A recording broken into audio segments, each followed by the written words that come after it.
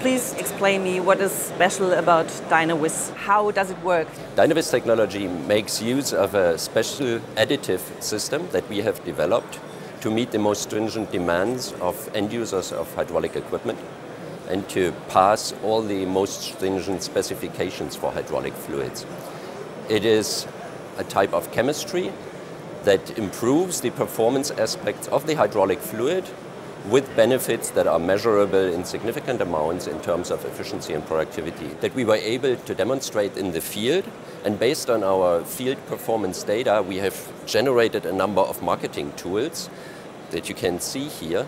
And those tools are intended to support OEMs and end users to get a better understanding of the importance of lubricants by nicely demonstrating the effects and benefits that a hydraulic fluid can bring to the system. So you save material? We save energy and therefore the end user will save a lot of money.